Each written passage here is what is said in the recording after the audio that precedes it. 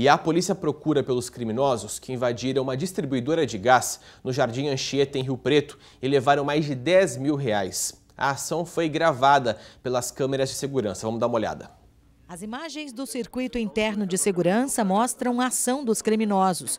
Segundo informações do boletim de ocorrência, dois suspeitos armados com revólver entraram no estabelecimento e ameaçaram os funcionários.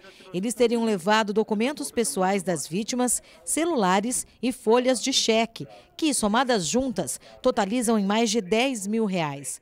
Os bandidos estariam usando o uniforme de uma empresa concorrente. Eles fugiram em uma moto. O caso vai ser investigado. Até o momento, ninguém foi preso.